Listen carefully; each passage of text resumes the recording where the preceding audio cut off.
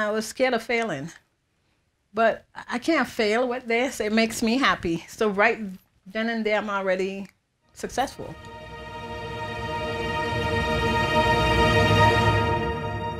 My name is Adderly Grant Lord. My art is abstract.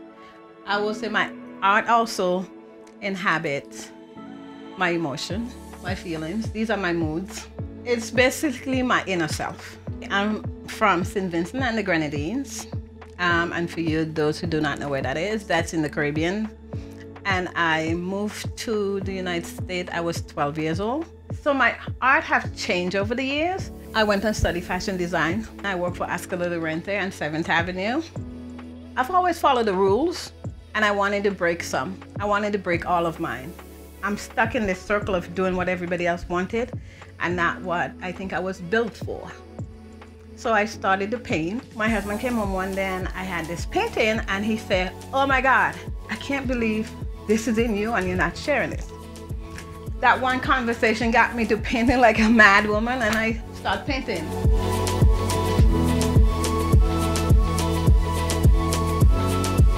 It let me see me. I knew me in qu quiet places. I didn't know me out loud.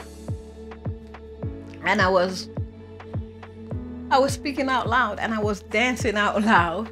I was petrified of failing. And that's why I didn't go back to painting. And now I was no longer scared of failing. So what if I fail? Who really cares? I decided I was just gonna love me and I really didn't care about what anybody else was thinking. I paint from all angles. I paint horizontal, vertical. I move the canvas around. Most of my abstract, you could place them whichever your heart desire, whichever best pleases your eye. I don't try to control it, and when I try to, the canvas will kick me back. I just start painting. Um, sometimes I paint with my hands. I find when I start with my hands, I get a rush because I'm feeling the paint and I almost don't look at what I'm painting per se. I just start painting and and I just go with the flow from there. I now have something that hangs on a wall that have what I was feeling in it. There's a light in each one of us that I think we have to claim, that power that you were born with, that uh, I think people tell us not to be or how to be or expectation of your mother and your father. This is your personal light. And I want everybody to claim their personal light and not let anybody else dictate what you're feeling. And to the viewer, it could mean whatever you bring to it. It's for that kid that can't speak. It's for that adult who is struggling. I think it's food for the soul. We feed the body with regular food. This is just pure food for the soul. That's what art does. It knocks on all your doors and your insides. With the COVID came a lot of challenge.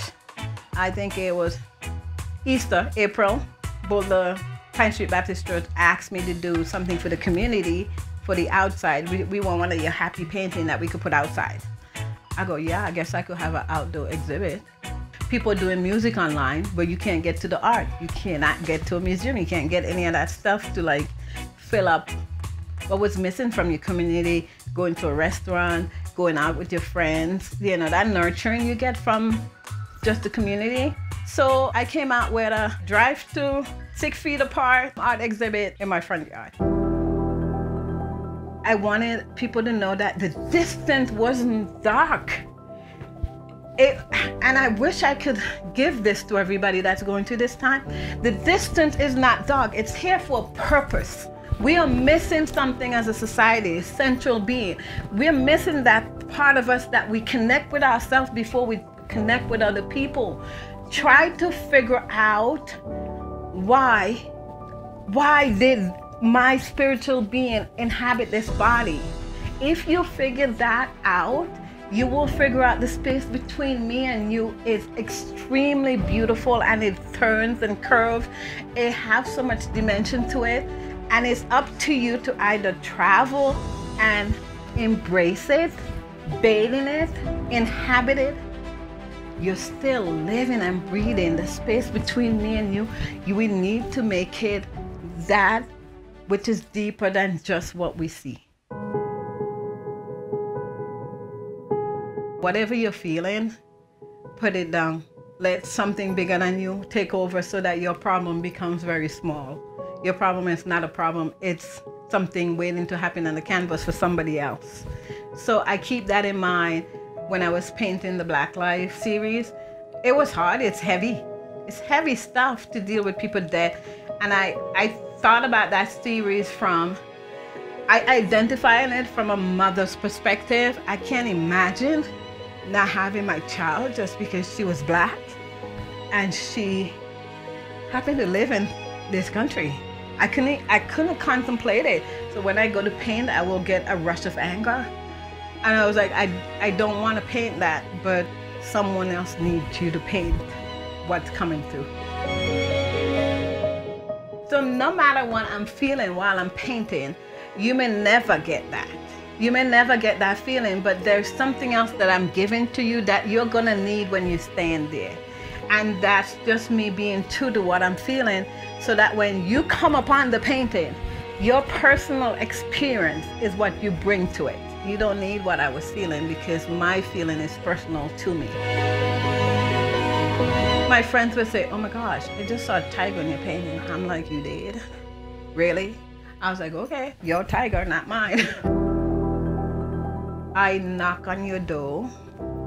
You may not like the knock, but it will challenge you. It might confuse you, but it'll make you think. I do not take you to a dark place. I take you to a place where you might want to be better person within this moment.